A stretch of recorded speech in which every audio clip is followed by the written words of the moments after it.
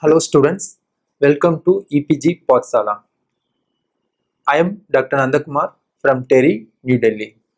Today we are going to discuss about a module Need for Water and Natural Resources Management under paper Environmental Biotechnology. So here we are going to learn about fundamentals of water and natural resources, eco-technology measures to conserve natural resources, water resources management, an Indian perspective, natural resources management policies, governance and livelihood. So before going into the details, we should understand what is natural resources.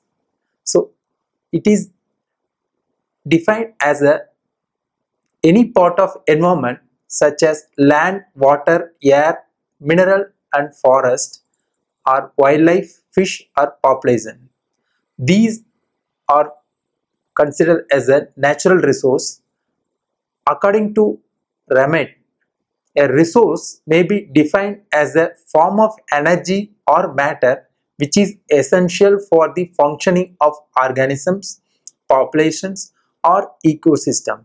The ecological variables like energy, matter, space, time and the diversity combinedly are referred as natural resources.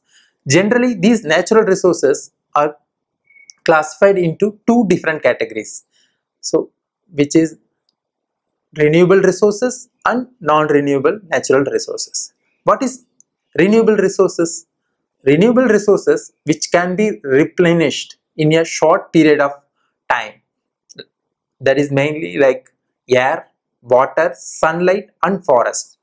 So, if you start continuously using these renewable resources, it again regenerate within short time. Whereas non-renewable resources are cannot be replenished in a short period of time like various minerals like coal, petroleum, natural gas and metals. So these natural resources again further classified based on the continual utility and according to the origin. So as per the utility, natural resources are renewed along with their exploitation and can be always available like forest, air, solar energy which we have discussed in earlier slide. Earlier. Whereas non-renewable resources like coal and minerals and fossil fuel which are non-renewable that is which cannot be refinished within short period of time. So according to the origin these resources natural resources are again further class, classified into biotic resources and non-biotic resources. Biotic resources are like living organisms whereas abiotic resources are non-living things. So re natural resources consist of different minerals, flora and fauna. What are the causes of depletion of resources? It is considered to be a sustainable development issue because natural resources depletion caused by there are two drivers that is direct drivers of change and indirect drivers of change. Direct drivers of change include mining, petroleum extraction, fishing and forestry whereas indirect drivers of change include demography, economy, society, politics and technology. The current practices of agriculture is another factor causing depletion of natural resources because where over exploitation of natural resources takes place. Different elements responsible for natural and water resources issues. So mainly these elements are directly related to anthropogenic activities of modern economic and technological emergence. So ecological balance and ecosystem stability disturbed by following activities which is also related to different activities that is emergence of modern industrial era heavy industrialization technological revolution transportation and rapacious exploitation of resources unplanned urbanization So these different categories which are responsible for the depletion are main elements which causes the depletion of natural and water resources. So to understand the complete picture of natural resources management, we should first start our process like initial assessment of various natural resources that is in starting from classification of natural resources and physical chemical and biological components in the system should be very well understood. So to start with that process the natural resources including biotic resources and different interdisciplinary subject involves which include social sciences, natural resources, economics, environmental communication, pollution control, physical earth and resources science and biotic resources science which involves the help in understanding the different system which includes science, economics and practices of natural resources management. These interdisciplinary subjects will help to identify the problems and solve the problem with appropriate technologies.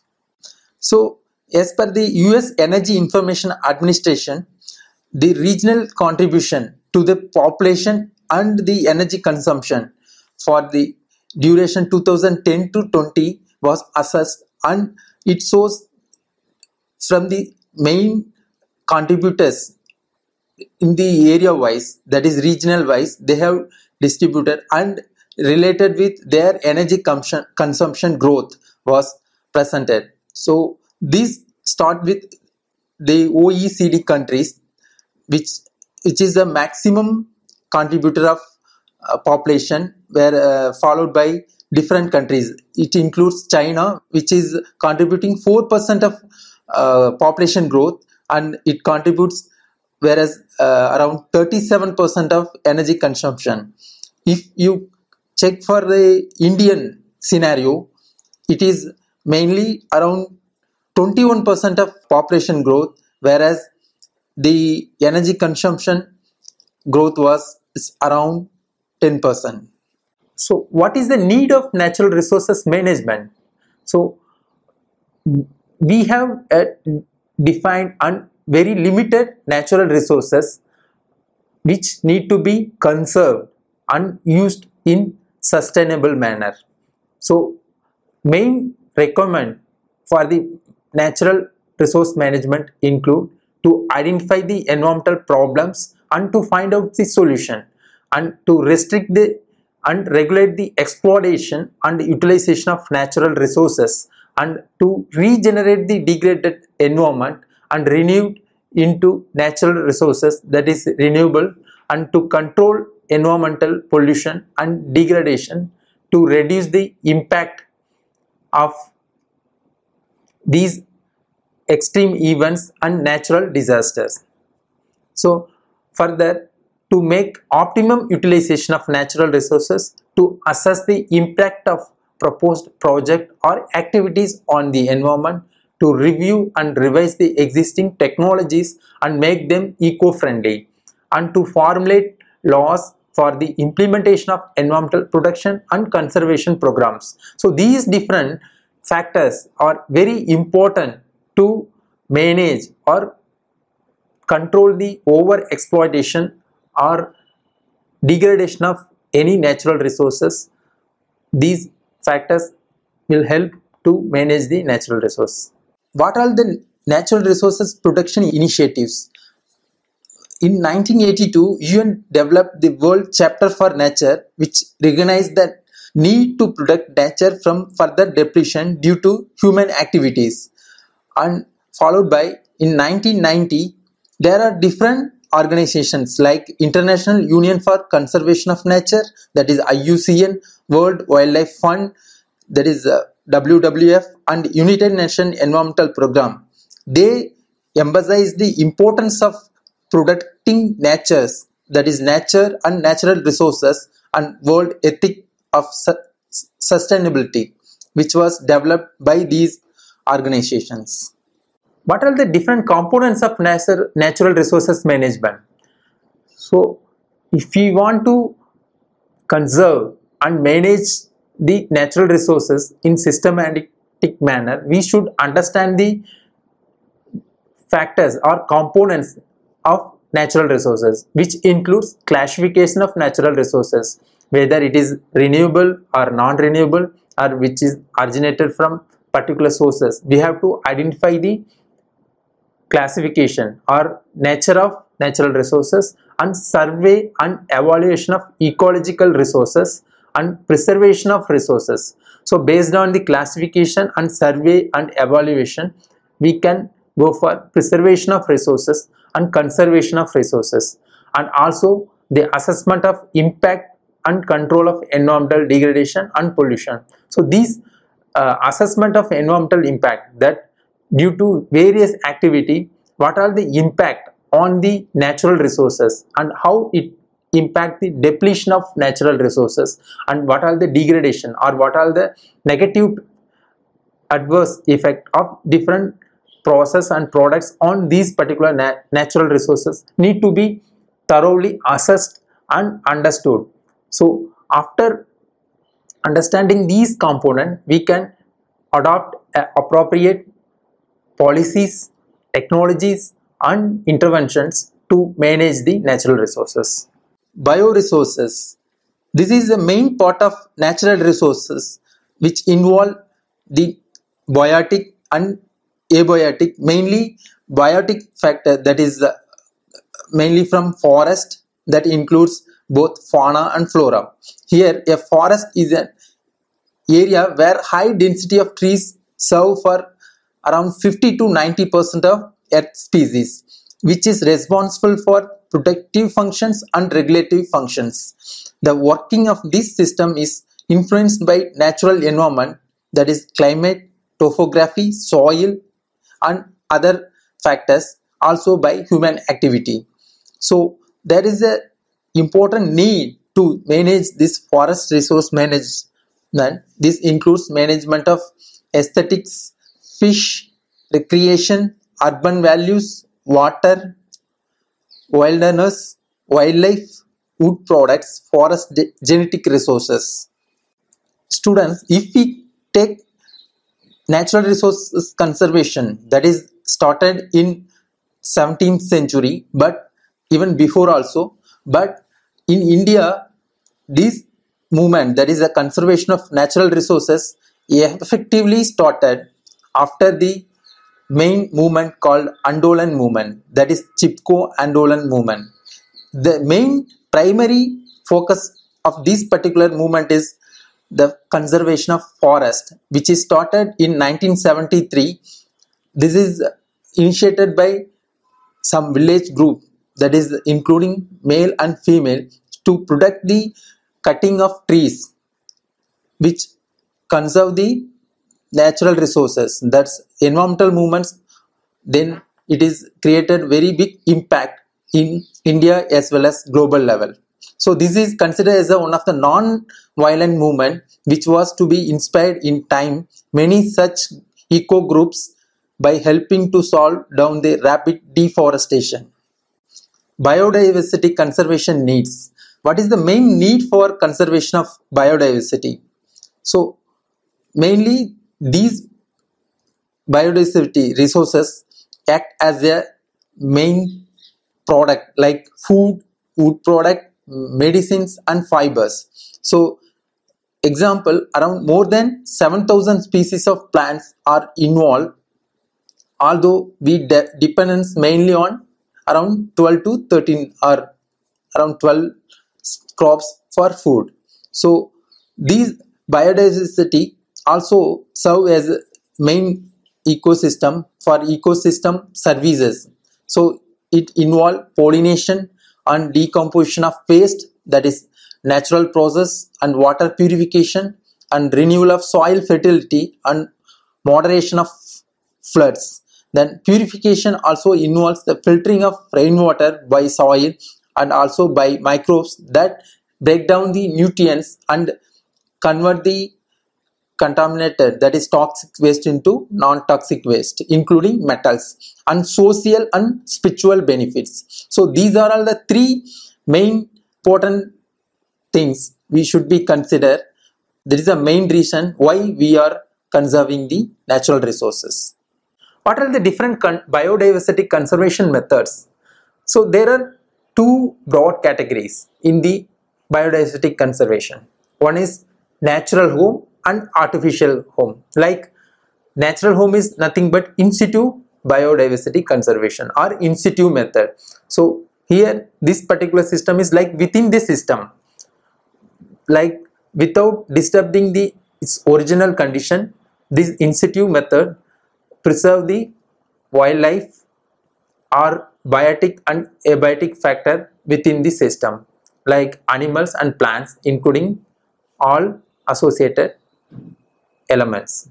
So in situ treat, uh, biodiversity conservation include wildlife sanctuaries, natural parks and biosphere reserves whereas artificial home this is called ex situ conservation method which includes seed bank, zoo and botanical garden where artificially the constructed area will be used for the conserving biodiversity. What are the application of biotechnology in natural resources management?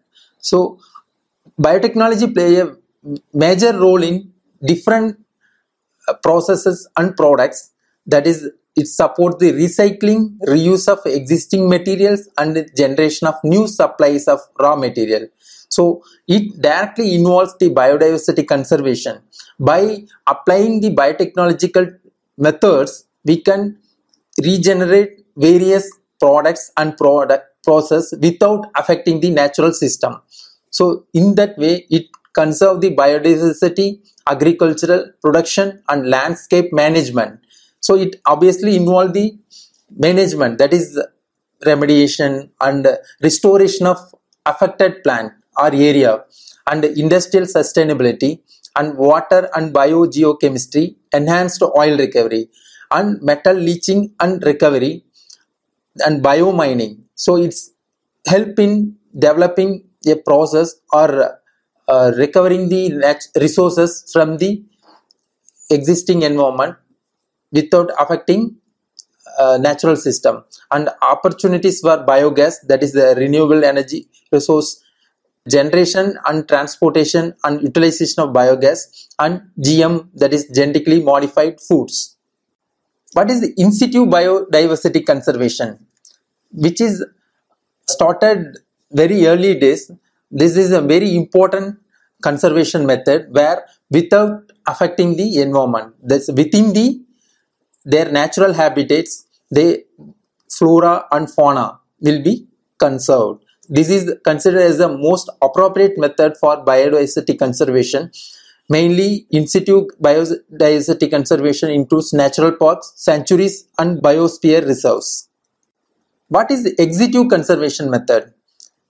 So there is a main thing is in situ and ex situ conservation method. After ex, in situ there are ex situ methods where different biotechnology play a important role like gene banks and different multiplication of various plants and animals. So gene banks involve store seeds and sperms and ova at extremely low temperature and humidity and save large variety of species of plants and animals that is sperm and ova banks and seed banks. So gene banks directly helps in conserving the natural resources and zoos and botanical garden. So which creates a public uh, awareness in collecting living organisms for aquaria, zoos and bot botanic gardens and collection of in vitro plants, tissues and microbial cultures and captive breeding of animals and artificial propagation of plants with possible reintroduction into the wild. So which again conserve the original species and ex situ biodiversity conservation strategy also play an important role in recovery program for endangered species and also in agriculture ex situ conservation measures maintain domesticated plants which cannot survive in nature unaided. So what is soil conservation? This this is a soil conservation also a very important in part of natural resource conservation because soil is supporting medium for all plant and its associated living organisms. So these involve conservational tillage that is plucking improve soil permeability, soil moisture and nutrient, organic farming and crop rotation, contour plucking, mulching, strip cropping, terrace farming, agrostological methods and afforestation. So these different conservation method which helped in conserving and protecting the soil air, soil from the degradation process and also biotechnology play an important role in these soil and natural resource related conservations. What is sustainable conservation? So we have discussed many conservation methods including ex situ and in situ conservation method.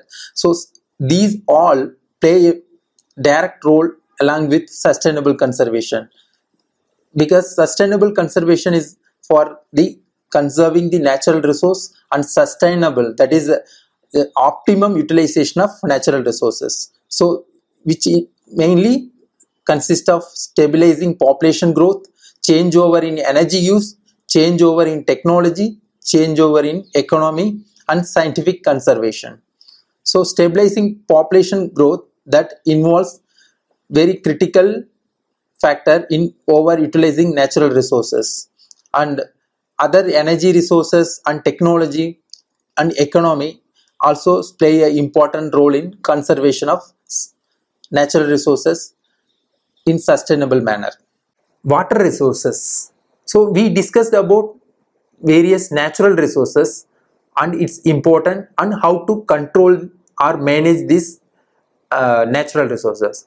So in these natural resources, water play a very important crucial role because water is essential natural resource for sustaining life. Why we should give very much attention? Because we have very limited freshwater resources which is accounts 2.5% and surface and other freshwater is 1.5% and remaining all come under saline and ocean waters. So what are the different sources of fresh water? Mainly fresh water comes from surface water that is under including river flow and groundwater, frozen water and desalination. These fresh waters are used or applied in different system like agriculture sectors, industrial, domestic, recreation and environment. So what are what is the main stress in water sectors? So current practices the world will face around 40% shortfall between forecast demand and available supply of water by 2030 which is reported by World Bank Group. So which is mainly due to population growth, expansion of business activity, rapid urbanization, climate change, depletion of aquifer, pollution and water protection and water and conflict and water shortage. So India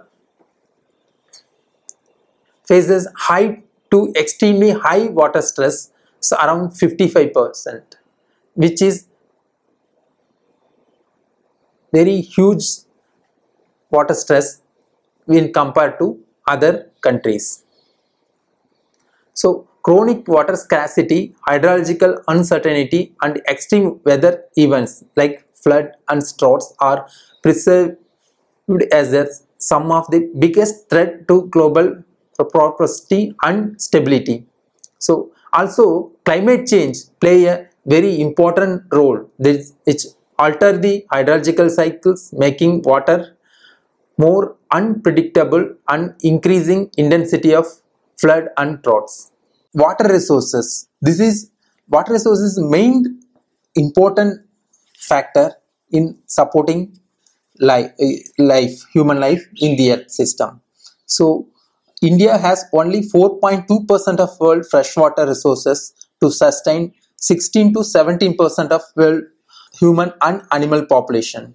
So we have to pay a very critical attention in conserving water resources because of rapid industrialization and its associated activities. From a per capita annual average of 5177 cubic meter in 1951, freshwater availability in India dropped to 1820 cubic meter in 2001. So, and it is also predicted in 2025 per capita annual average freshwater availability will be 1340 cubic meter which is approximate quantity. So what is the importance of water management? So water resource management and effective use is very important to manage and to meet the demand of water. So managing water resources and supplying safe water and, and using water resources effecti effectively in agriculture. We, these three factors are very important in water management system because these three sectors play a important role in water management. So these managing water resources involve water supply and demand further function of water resources informations and also supplying safe water that is water supply system development and in local and as well as in central system and spreading saving water and irrigation by professionals so these three different sectors uh, that is involvement of uh, knowledge and also other informations play a crucial role in the management of water system. Challenges in water management in India. So national level possesses both quality and quantitative challenges. So over exploitation is the main reason for water shortage which almost 65% of Indian cities being water deficient. Ground, groundwater has also been observed to be contaminated by high concentration of various contaminants due to geographical locations. It includes nitrates, fluorides, chlorides, toxic metals, pesticide, sulfate and potassium. These different pollutants released from different activities. Water resources management practices. Water resources management practice is very important to control the pollution of water and to manage the water scarcity. So water resources management help in planning, developing, distributing and managing the optimum use of water resources and also strengthen the water security against this backdrop of increasing demand, water scarcity, growing uncertainty, greater extremes and fragmentation challenges.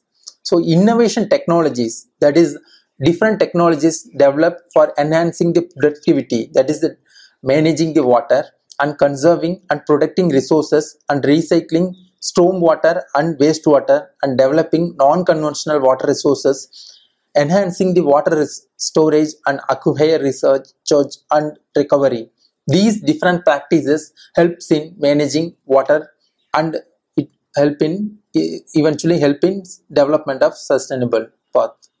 There is a need to encourage watershed development, rainwater harvesting, water recycling and water reuse and conjunctive use of water for sustaining water supply in long run.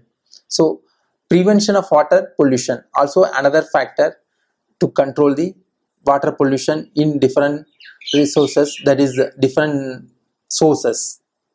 Rehabilitation of polluted rivers that is Ganga action plans. So to control the water pollution, different agencies, government and other public activities involve and plan for different kind of technologies and processes for to control the pollution. So the Ganga pollution action plan is a very important part in controlling the water pollution.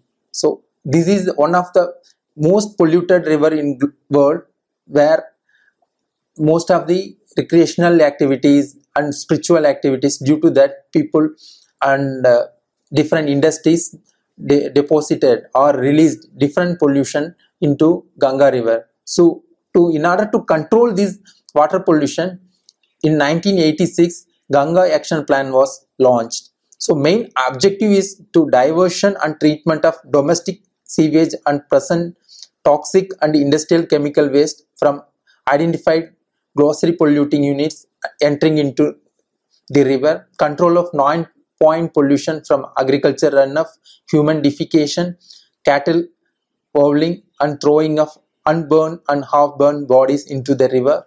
And there are different research and development which was encouraged and supported through Ganga Action Plan to control the pollution. Watershed management. So watershed management is another important conservation of water management practice which is efficient management and conservation of surface and groundwater resources. So what it mainly does is it will prevent the runoff of runoff and storage and recharge of the groundwater through various methods like percolation tanks and recharge vaults. The watershed management include conservation and regeneration and judicious use of all resources, natural resources like land, water, and plant and animals and human within the watershed. So another conservation method is like rainwater harvesting which is also a very simple and important method which play an important role in management of water resource and it's also help in recharging the groundwater system. So which is mainly accumulation and deposit of rainwater for reuse on site rather than allowing it to run off. So rainwater can be collected from rivers of or roofs and in many places and water collected is redirected to deep pit or well or groundwater system and it's eventually helping recharging the groundwater system. National Water Policy National Water Policy is formulated by Ministry of Water Resources and Government of India, which is first national water policy was adopted in 1987 and again it's revised and updated in 2002 and later in 2012. So main salient feature of this particular national water policy is to ensure the access to a minimum quantity of potable water for essential health and hygiene available within easy reach of households to crucial uh, subsidy to agriculture electricity users and setting up of water regulatory authority to keep aside a portion of river flow to meet the ecological balance to give statutory power to water users association to maintain the distribution system. Also it removes the large disparity between the stipulation of water supply in urban areas and in rural areas which also support the national water framework law. So it is important to utilize best available research knowledge and technologies for the conservation, management and sustainable utilization of natural resources for ensuring food, nutritional and environmental security in the country. So managing the natural resources like water, air and other associated natural resources is very important in conservation and management as well as sustainable utilization of resources. Thank you.